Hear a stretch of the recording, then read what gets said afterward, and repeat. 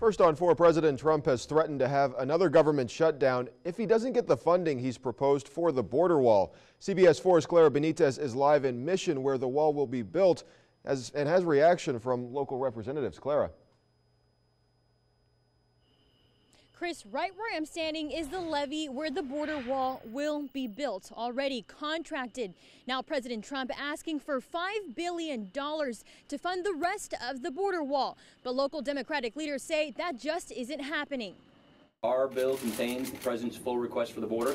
Uh, but ultimately, um, the president and the Senate Democrats are going to have to come to agreement as well. Parts of the border wall have already been awarded and contracted. Now President Trump asking for $5 billion to fund the rest of the wall.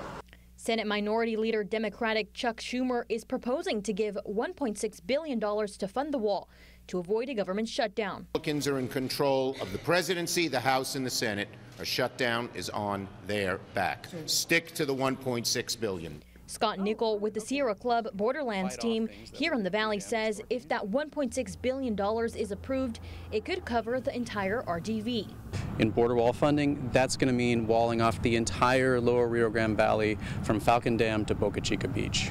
Valley representatives have expressed they will not negotiate any type of funding for the border wall, not even Schumer's 1.6 billion.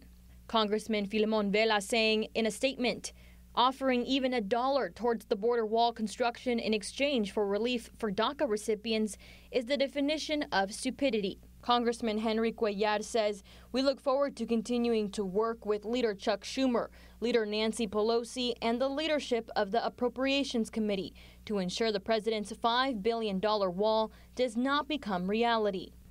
Nichols says he is happy to see local representatives continuing to fight against the border wall and trying to find an alternative to avoid a government shutdown.